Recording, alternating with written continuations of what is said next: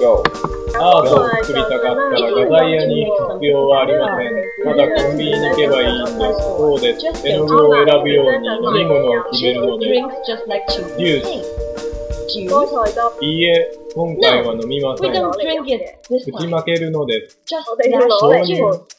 奶，みんな好きだよミルクティ。ー、無駄に使うよね。いちごミルク、ミルク素晴らしい。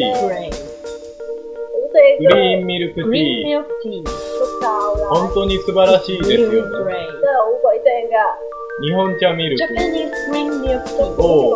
黄色いやつですね。タイガですよ。ターゲット、